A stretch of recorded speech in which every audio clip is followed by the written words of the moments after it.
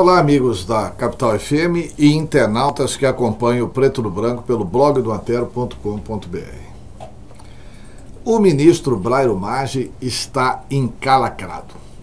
Ele próprio admitiu ontem que o seu sentimento é de frustração, é de derrota. Ele não se lembrava disso, ele, ele disse que não teve nenhuma relação com essa gente. Mas a verdade é que dois delatores da Odebrecht, primeiro Patrício, é Patrício o nome dele?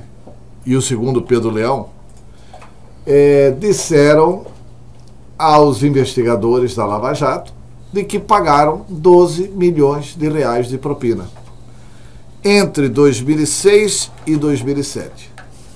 Portanto, mais do que Caixa 2, o dinheiro foi para propina mesmo, porque no início de 2007 não havia eleição.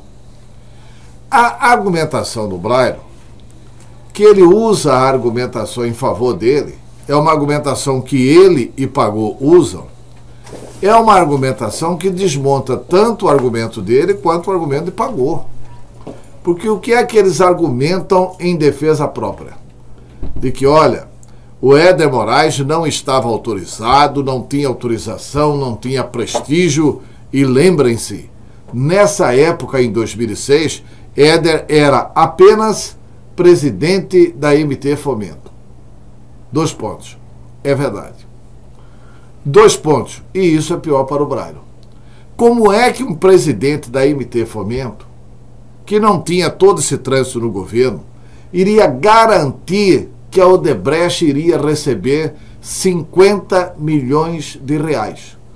Porque os dois relatores, Patrício e Pedro Leão, eles argumentam exatamente o seguinte: nós pagamos 12 milhões, estão aqui as datas, estão aqui os codinomes, estão aqui as planilhas. As planilhas hoje estão publicadas na página 8A do jornal A Gazeta. Lá estão 12 milhões destinados ao Brairo Maggi, com o codinome de Caldo. Evidente que o caldo é se referindo aí às famosas sopa Maggi caldo mágico, o caldo da galinha azul, é se referindo a esse caldo mágico. Quer dizer, 12 milhões para o caldo, 330 e 30 mil para o Edmilson, 330 mil para o João Virgílio, 330 mil para o Chico Lima. Tá tudo lá na planilha. E os argumentos utilizados por Blair e Pagô confirmam os delatores.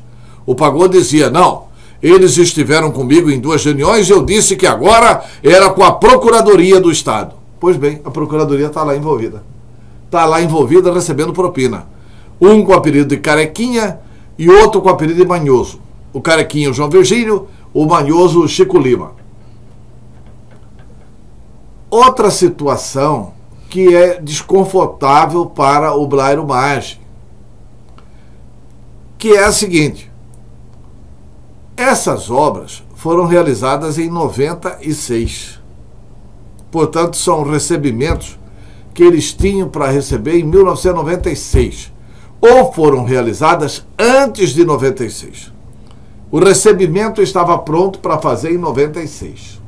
Bom, em 96 era governador de Mato Grosso, Dante Oliveira. E também o Pagou usa aqui um argumento contra o Dante, que era um argumento canalha, mais uma vez canalha e mentiroso, dizendo da questão da caixa preta, que as coisas que não estavam contabilizadas, etc e tal. Pois bem, se não estavam contabilizadas, como é que pagou? Por que é que pagou? E como é que um governo paga uma conta de 1996, dez anos depois, como é que o governo paga isso administrativamente? Qual que é o comportamento ético de qualquer governo? Olha, vocês têm isso para receber? Temos. Por gentileza, você entra com a ação, o Estado vai se defender da ação, o que a justiça decidir, a gente vai pagar. Só que aí vocês vão entrar na fila do precatório. Foi exatamente para evitar entrar na fila do precatório que a Odebrecht aceitou pagar propina de 12 milhões para o grupo político de Brairo Maggi.